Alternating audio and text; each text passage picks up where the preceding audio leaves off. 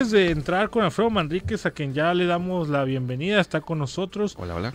Muy bien, Alfredo. Vamos a ir nomás brevemente a una cápsula que nos preparó nuestra compañera Rocío Camacho, donde nos comparte las actividades culturales que hay en la semana aquí en el estado de Sonora, que se llama eh, Fuga para dónde.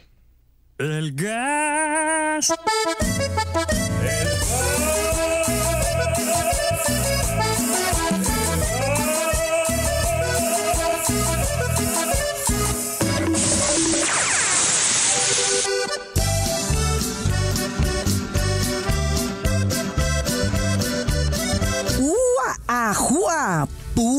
Sonora. Beli, quédate a ver si me sale. ¡Qué barbaridad! ¿Cómo que no saben qué hacer en Sonora en los próximos días? Es un algo a tener fufurufo. No, hombre, te tocan unas cachetadas guajoloteras para que te alivianes. Voy a empezar comentándote que Andamios Teatro, todos los viernes y sábados del 14 al 29 de junio, ofrecerá la puesta en escena titulada Cassandra por el mes del orgullo LGBTQ.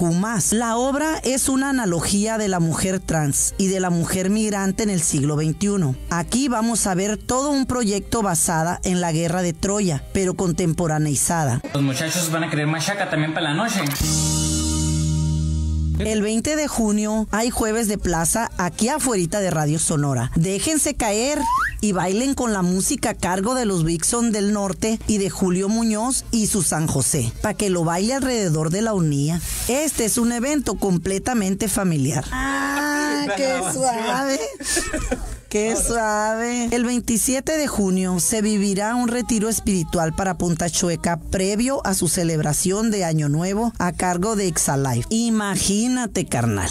Muchos hippies gringos en una caravana viajando hacia Punta Chueca en espera del año nuevo serio. No, hombre, es que hay público para todo en este estado. La verdad, sí me parece una buena actividad para desconectarnos literalmente de todo. Estas son las actividades que hacer en Sonora. Yo soy Rocío Camacho y nos vemos en el próximo Fuga Pa' Onde.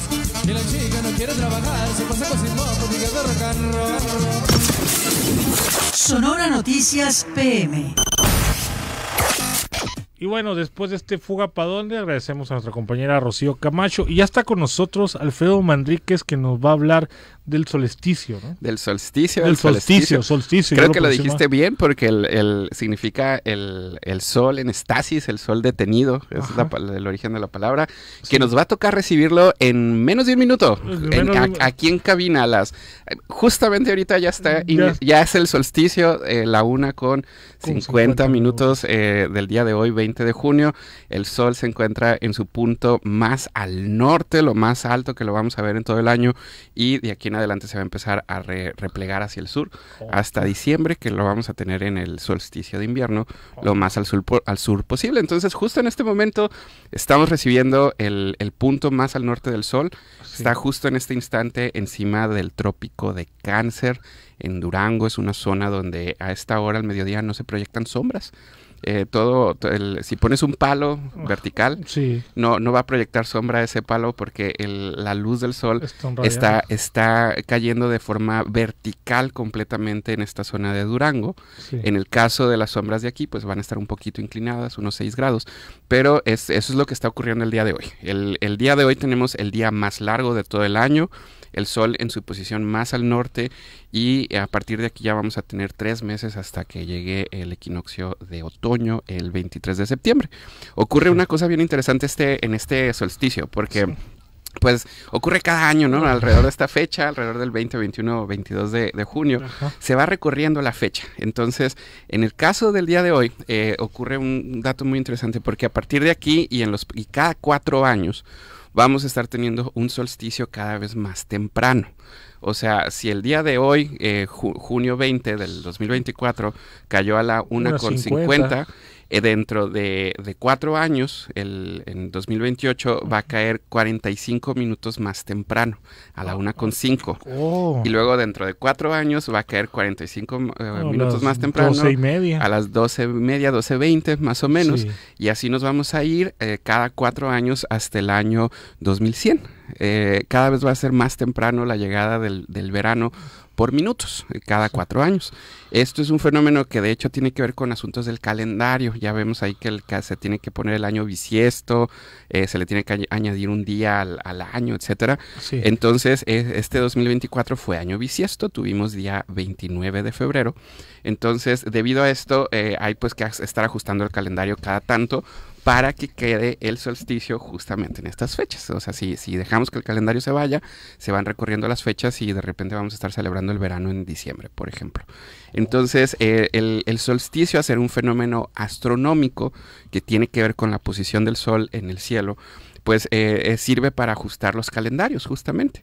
Entonces, eh, estamos en una situación muy interesante porque a partir de hoy, 2024, vamos a tener estos solsticios cada vez más temprano hasta que vamos a tenerlo casi a la medianoche del día 20 de, junio, allá por el año 2100, cuando se va a resetear y vamos a volverlo a tener alrededor del día 22 de junio.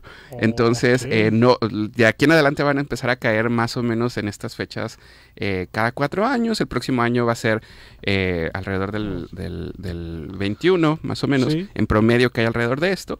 Y justo eh, por eso es que también, como el promedio, la, fecha promedio es alrededor del 21 de junio, eh, la UNESCO en 2019 conmemora el día 21 de junio, es decir, mañana viernes, el año el Día Internacional del Sol.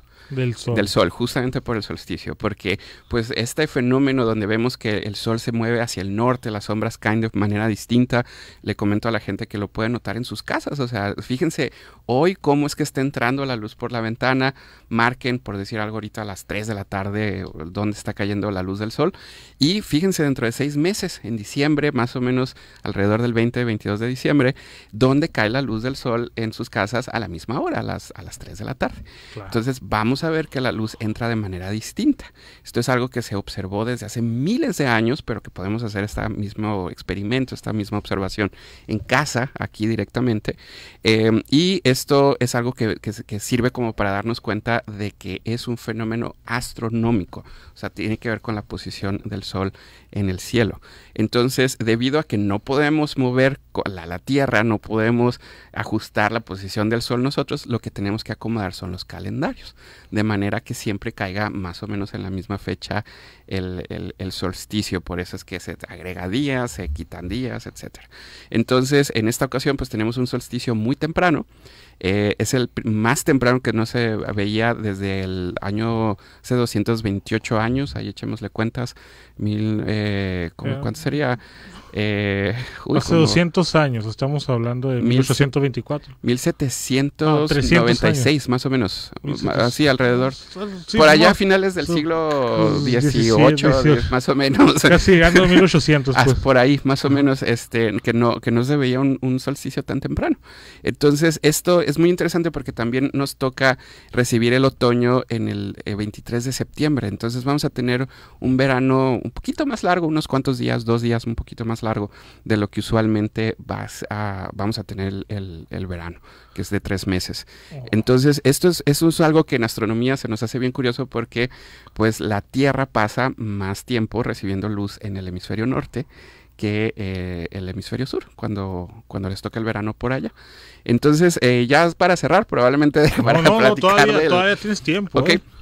Pues eh, me gustaría comentar también para quienes este, estén interesados en este fenómeno, eh, pues la, la, el hecho de que estamos iniciando el verano hoy, no sé si a ti te habrá tocado por ahí, que, que es una idea muy común, que sabemos que la, la, órbita de la Tierra no es perfectamente circular. Hay veces que la Tierra está más cercana al Sol, hay veces que la Tierra está más lejana al Sol. Eh, uno puede llegar a concluir que el verano, la, la temporada de más calor, pues sería pues como por sentido común, cuando la Tierra está más cerca del Sol. Resulta ser que eso no es el caso. Eh, en estas fechas, cuando tenemos el verano en el hemisferio norte, la Tierra se encuentra en su posición más alejada del Sol. De hecho, se mueve más lenta la Tierra en estos días. Por eso es que vamos a tener más días de verano, porque la Tierra va a estar dando más vueltas para tratar de recorrer la, la distancia de aquí hasta que llegue al, al, equinoccio de, otoño. Entonces, en realidad estamos en el punto más lejos del, del, Sol. Lo que hace que se sienta tanto calor es la cantidad de luz que nos llega al hemisferio norte, que tiene que ver con el eje de inclinación de la Tierra.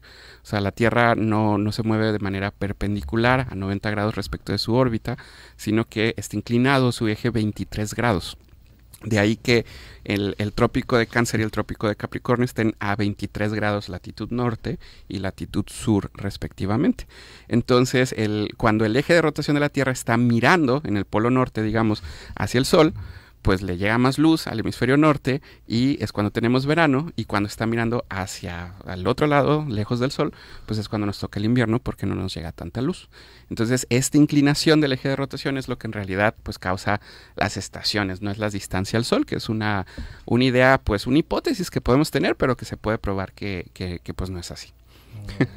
Alfredo, vas a estar platicando ahora de esto en, el, observatorio. Justamente el día de hoy y mañana vamos a estar celebrando el Día del Sol, que pues aquí más bien es esconderse por tanto calor. Pero justamente de esto y más vamos a estar platicando ahí en el observatorio. Si nos quieren acompañar, con muchísimo gusto, si no en redes, ahí estoy como arroba astroalfredo, con muchísimo gusto en redes para pues recibir preguntas, comentarios de todo esto. Los horarios, Alfredo, del, observatorio y los días que están. Sí, eh, tenemos apertura, en el observatorio los días jueves y viernes a público en general con observación nocturna a partir de las 6 de la tarde.